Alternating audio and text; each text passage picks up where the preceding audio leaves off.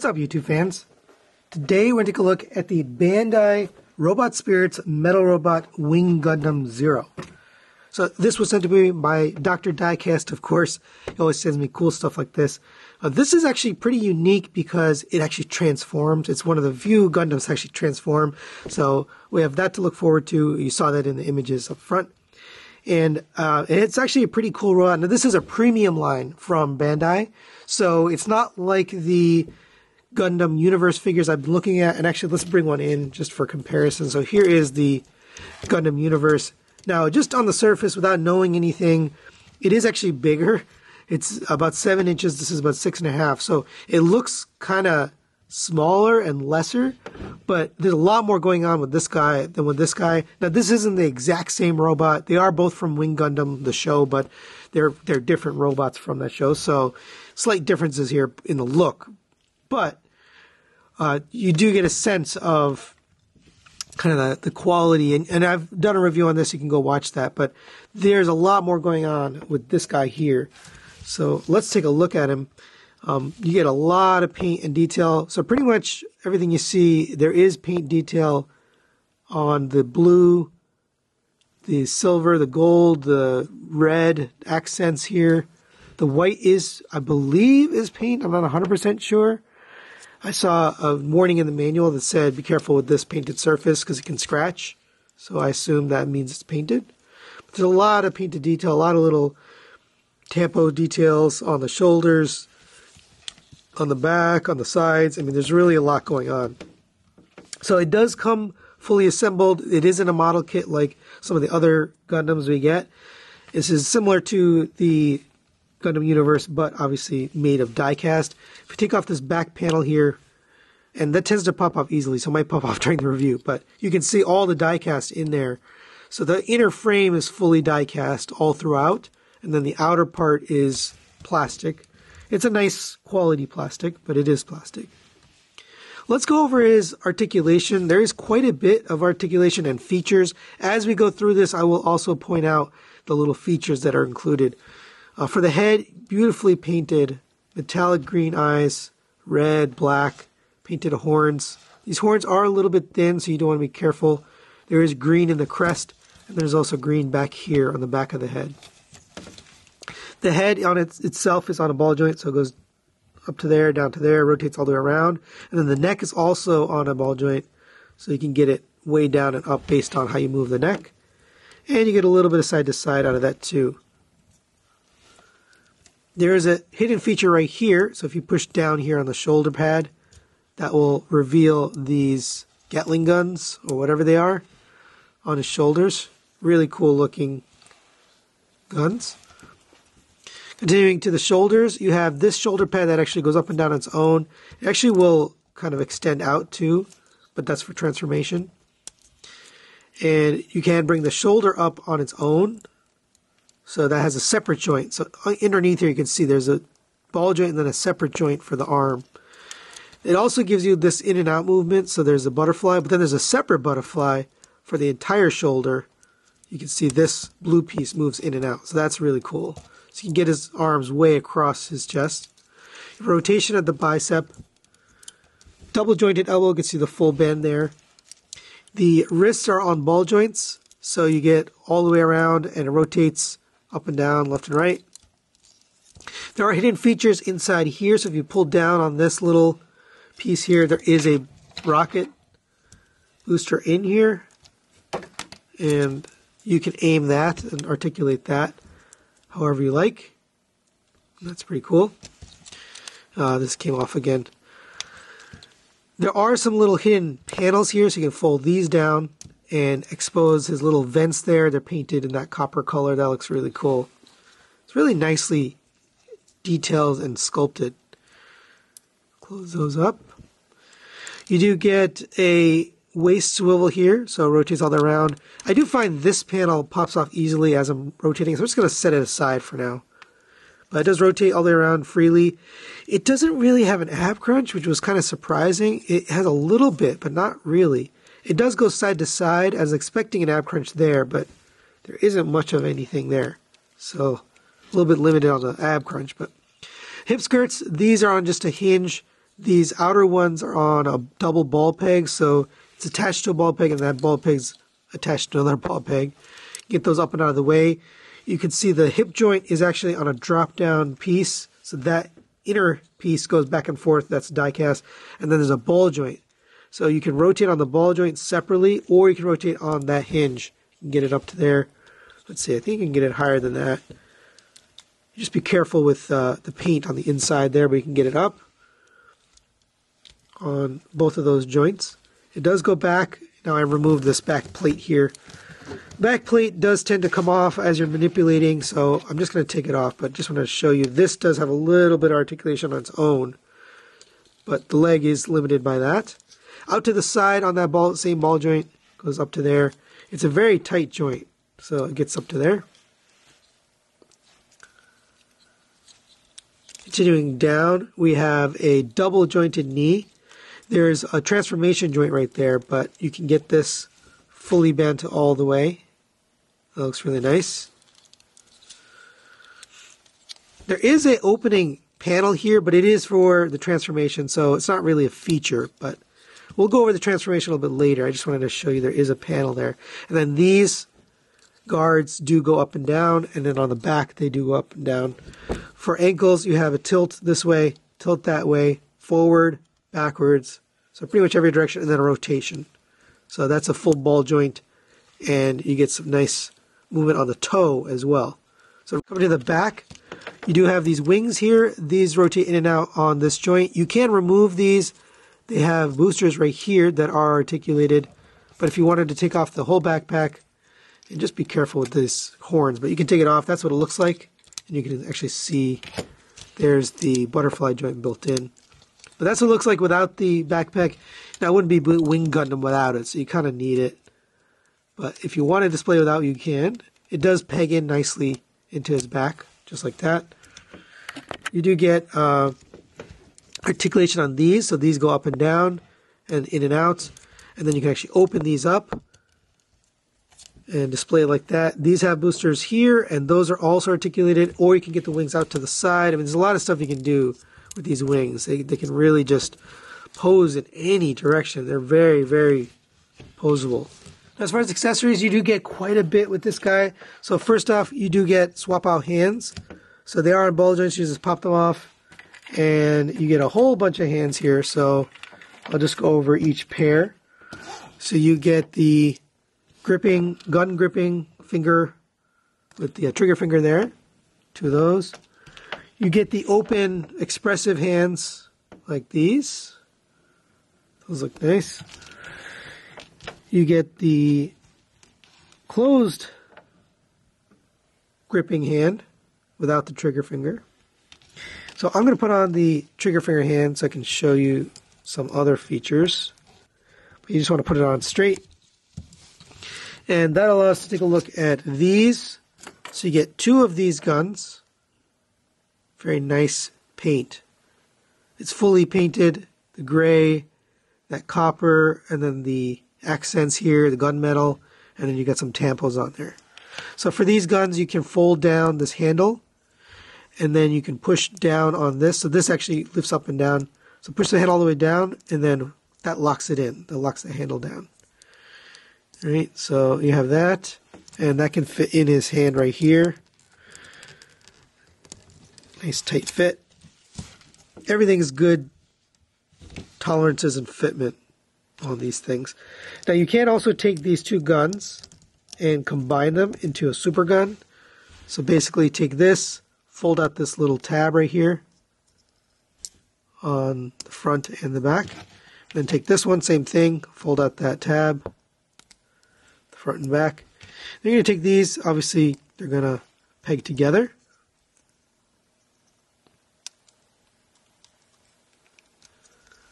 Like that. And then you can have him holding this, or you could have him double wielding it because he has the the butterfly joints. You could have him holding it with both hands. Whoops. And you could have him pose like that. But either way, you get this option. And that's pretty cool because he could be blasting like that. So here's the hilt. just a little thing, and you can take the beam, and he hits beam saber, and then you can take this and put it in his hand. It's actually very small and thin, so you just want to be careful with that, but nice looking beam saber. Now, of course, you can store it. So if you open up this piece of armor right here, there's the beam handle. I put it in there ahead of time because it's actually kind of hard to get it in there. But you can store both beam handles in there, and then the um, the actual light piece has to go somewhere else. But there it is in there. That looks nice. Last accessory here is his shield. So it looks like this. It does have a transforming gimmick in it, so I'll show you that a little bit later. But you want to get this peg into the side of his arm. It won't go into either side. So go ahead and take this, get that pegged in. And now he's got his shield. You can't extend this part right here. These are very, very, very sharp. So I don't know if those will break easily, so just be careful with those. But everything on this is sharp. That's sharp, this is sharp. I guess it's not a kid's toy, so they don't need to worry about it being sharp. But there you go. There he is with his shield and his beam saber. And one final accessory, which is necessary for flying figures like this, is a flight stand. You do just assemble it together. You take these two pieces, stick them into the base here. It does say Wing Gundam Zero XXG. It's a nice glossy with a glossy red. I already have some fingerprints on there. I'll have to wipe those off. But if you open up this here, it doesn't actually peg. It just kind of sits on here. But this will allow you to go up and down. You can lock that. There's a lock for this. So if you open this lock, you can rotate this and then get that locked in position. And then this can go up and down like this. And if it's too short, you can actually flip it around, get it the other way, whoops, and lock that back in. So however you want to do it. Um, pretty good stand. I, I haven't really gotten any stands other than the Tamashii Stage Act for my, my Gundams. So these, these work just fine. And that little peg there is going to go right here, actually into an adapter. So here's the adapter. So just get that plugged in here.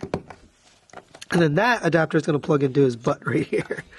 So go ahead and take that. You can see there's two slots there. All right, there it is on the flight stand. Looks really good. Got some opposability, adjustability. Now, it doesn't feel all that secure on here. Uh, I guess if you push it in nice, nicely, it will sit, but it's just two pegs, and for an expensive piece, I'd want it to lock in a little bit better, but good enough, nice stand, better than the Tamashii Stage Act anyway. But there you go for the flight stand. All right, now let's get this guy transformed into his flight mode, and it's obviously a pretty simple transformation. Let's go ahead and take the shield here, collapse this down. To come to the inside. The book says these are delicate, so that doesn't give me a warm fuzzy, but you want to fold these little tabs out this side as well. And it should look like that. Then you take these guns, and the guns have a little slot right here that this is going to slide into. And you know which side is which because you've got these tabs on the inside. So get that on here. Give it a little support. I mean, I don't know. It, it feels okay, but just because they said it was delicate, I'm trying to be careful. So give it a little support and then slide this down onto it. Right, and that part's ready. Now you could actually use this like this in robot mode. So this is going to end up going here. Like that. So you could display him like this if you wanted to. But it's a little awkward to have him like that. But I'm going to take that off for now just because we have some other things to do before we attach that. All right, so go ahead and rotate the waist 180 degrees. We're going to rotate the head back 180 degrees so it's facing backwards. We're going to come down to the legs, and this is the part that um, just be careful, get things out of the way so you're not colliding. You're going to open up the knee, fold down this panel, and then you're going to collapse the knee all the way. So basically take this and bring it all the way up, and that's going to sit like that. So you know it goes back because it actually clicks into place, but that's how it's supposed to look for the flight mode. Right?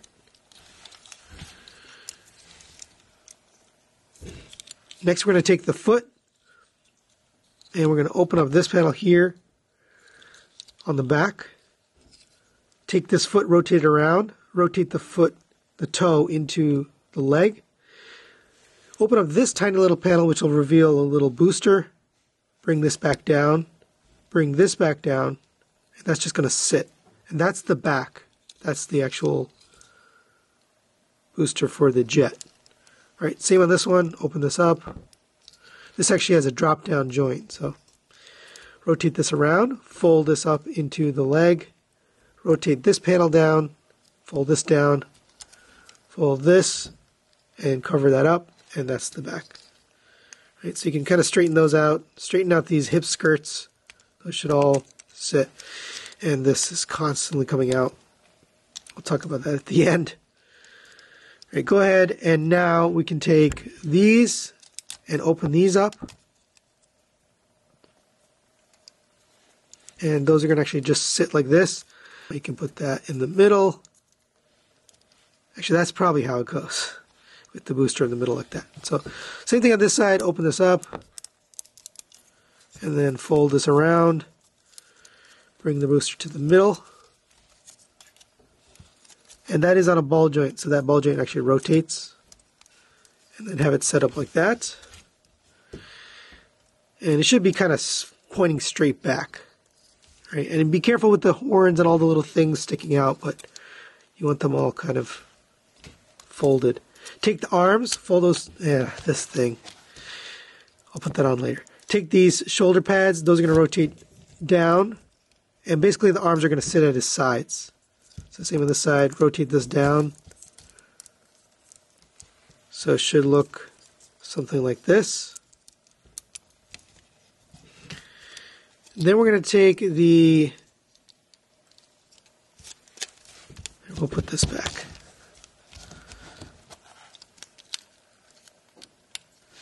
Right, then we're going to take this backpack piece and put that on, and that's going to be kind of the last finishing touch.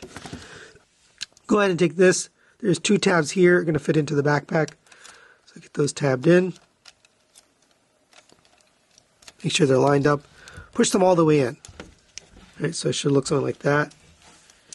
All right, and there you have Wing Gundam all transformed into his flight mode. It looks really cool. You got this nice long jets with the guns in front. On the back, you've got the boosters here, here, here, and here. So you got four of them total. I mean, it still looks like a guy lying down, but still, it's it's pretty impressive. Now, of course, you can use the flight stand with this. You're going to take this piece right here. This tab right here is going to fit into the bottom, into his bum, and then this is going to fit around his chest. So get this around and in, and this around his chest. Make sure you get into the second hole. It should fit like that. Then you take this and take your stand from before, take this adapter off, and this is going to fit onto here. And there you go. There is your flight mode. We will angle him down a little bit. But yeah, looks really good. I like how this came out. Here, I'll just lower this. Really nice detail in this jet mode. Now, obviously, it's you know, it's not a real transformer, right? It's not a transformer. It's actually from the Gundam line, but pretty cool that it does transform into something. Very rare that we get a transforming gimmick in this line. So I really do like it. But there you go for jet mode. Final thoughts on the Bandai Metal Robot Spirits Wing Gundam. Let's start with the positives. I think it looks really good. All of the paint detail, the sculpt work, the tampos, the accessories, everything looks beautiful on this thing. They just did a knockout job on that. And Bandai knows how to do that, but this is a, you know, kind of a premium f- figure. So this is no exception. It really, really does look good. All the accessories work well. They all integrate well in both modes. Um, I didn't, I didn't put the guns back on here, but you could technically have the guns here on the shield and use it that way. So there's really a lot of flexibility and you know playability with this figure. Negatives wise, uh, there's only a couple minor things. So there's a lot of sharp corners uh, on the shield, on the uh, figure itself, uh, and I've, and if you're not careful, you could actually you know break or bend some of those things, like the horns, all that stuff you got to watch out for. And then this panel right here tends to pop off as you're manipulating the figure because it's just on a ball joint, and you, if you don't push right in the center where the ball is, it just pops right off It's easy to put back. It's not a big deal, but it's just a little bit of irritation as you're messing with it. Uh, but definitely a, a fun figure. If you're a collector of Gundam or you just like cool transforming robots, definitely recommend this because it's it's just a very neat thing, especially since it transforms. So that's it for today. Thanks for watching. Thanks to Dr. Diecast for sending this to me, and we'll see you next time.